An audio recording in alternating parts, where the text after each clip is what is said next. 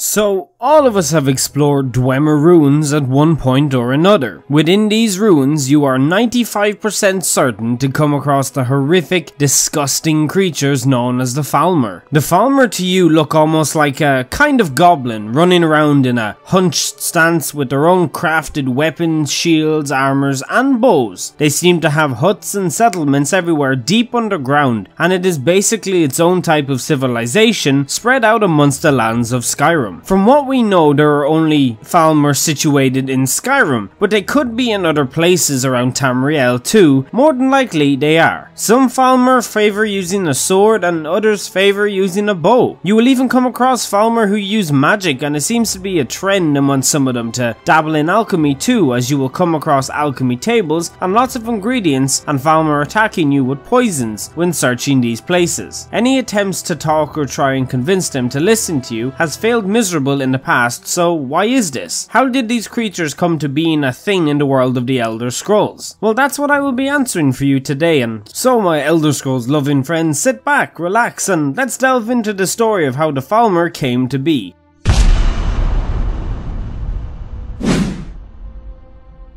So some of you may already know all the lore behind this, but it's always fun to go over it and maybe learn one or two new things during the video. We can also speculate certain stuff, so why not share the common practice of learning lore together? So I have already shown you some Falmer shots earlier in the video and you already know what they're like, their living quarters and style and the way they initiate combat and treat the outside world. But that's the thing, how do they treat the outside world? They never seem to leave their desolate areas from underground. The Falmer were once the beautiful and majestic race known as the Snow Elves. If you played the Dawnguard DLC, then you will have come across the last two remaining Snow Elves that anybody knows of to the date of Skyrim. All elven races in Tamriel seem to be one big mystery, with each race having something so deeply mysterious about it. The Dwemer being a prime example since we still don't know where they went to. The Snow Elves were cousins of the Dwemer and back in the Merethic era they used to live above underground. That was until a war was waged with the Nords of Skyrim Skyrim and they lost. They were driven underground alongside their elven cousins to which they shared a living together for many many years. But what the Snow Elves did not know was that their fate was going to take a twisted turn. The Dwemer as we all know did not take kindly to the outside world and were extremely cautious of everyone and everything that did not originate from their underground homes. They quickly took to enslaving the Snow Elf refugees and force fed them a toxic fungi in their daily diets that would go on to shaping their their form into what we know as the Falmer. This fungi would turn them blind, this and the being stuck underground in dark caves for all their time. Think of the Lord of the Rings, the way Smeagol changes when stuck underground in a cave. The body of any living organism can change rapidly over the course of years depending on their situation at the time. So not only were the Snow Elves destroyed above in Skyrim and Stone's time by the Nords, but they were now products of slavery to a different race underground. This would stay like this all the way until the Dwemer disappeared. By the time the Fourth era came around, the Falmer were seen as just a myth, something that didn't exist, but that was until Skyrim became more populated and people started delving into Dwemer ruins a lot more. Although to everyone's knowledge, these ruins would take the dwellers to places where the dwellers would not return most of the time. This was due to either being taken by the vast mechanical defences of the Dwemer or being captured and tortured by the Falmer. The Falmer were notorious in modern age for torture, they absolutely loved to torture any victim they could get their hands hands on, and ultimately feed the remains to the disgusting Chaurus which reside alongside them which they use for farming and other things like that. You can find torture areas in a lot of parts of the ruins and the current cruelty of the race is almost an homage to the own torment they suffered. The Falmer are a race that suffered tremendously to shape them into what they are today, and a living proof of how nasty the Dwemer race may actually have been in its time on Nirn. That's all for today's video, but make sure to leave some suggestions in the comment section below on what you think we should look into and talk about next. As always, I hope you guys all enjoyed and make sure to subscribe for more Elder Scrolls related content and hit that bell icon if you want to see stuff from me pop up in your sub box. I hope you all have a wonderful day, week, month or year and I'll see you all in the next one.